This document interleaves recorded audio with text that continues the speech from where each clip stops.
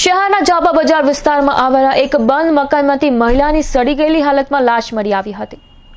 જો કે પીએમ બાદ આ મહિલાની ઓળખ થવા સાથેનું તેનું ગળું દબાવી હત્યા કરવામાં આવી હોવાની વિગતો સામે આવી હતી. હાલમાં ઘટનાના દિવસના સીસીટીવી સામે આવતા પોલીસે હવે સીસીટીવીમાં દેખાતા યુવાનની શંકાસ્પદ ગતિવિધિને લઈને તેના પર તપાસ કેન્દ્રિત કરી છે. સુરતમાંથી એક મહિલાની લાશ મળવા મામલે દરરોજ નવા નવા ખુલાસા થઈ રહ્યા છે. મૈદરપુરા વિસ્તારમાં સત્યાવીસમી તારીખે રવિવારે સાંજે જાપા બજારમાં ઘંટી સેન્ટરની સામે વાઘેલા ચેનલ નામની બિલ્ડિંગના ભોયરામાંથી એક મહિલાની લાશ મળી આવી હતી.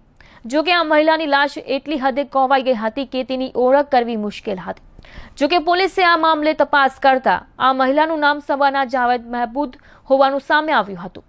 મૃતક સબાના પર્વત પાટિયા વિસ્તારમાં રહેતી હતી. ત્યાંથી નીકળી રિક્ષામાં ભાગળચા રસ્તા આવી હતી અને ત્યારબાદ યુવાન ગાડીમાં તેને બેસાડી લઈ જતો હોવાની વિગતો પોલીસને મળી હતી. આ ઘટનામાં પોલીસે મૃતદેહનો કબજો મેળવી પીએમ કરાવતા મહિલાનું ગળું દબાવી હત્યા કરી હોવાનું સામે આવ્યું હતું. તે બિલ્ડિંગના સીસીટીવી ચેક કરતા જ કહી શકાય કે ઘટનાના દિવસે એક યુવક આ મહિલાની જોડે આવતો જતો દેખાયો છે. ભોયરામાં ગયાના એકાદ કલાક બાદ તે એક સ્થળે સીસીટીવીમાં એકલો જ દેખાતા તેને જ તેની હત્યા કરી હોવાનું પોલીસ માની રહી છે. જો કે પોલીસે આ મામલે ગુનો દાખલ કરી.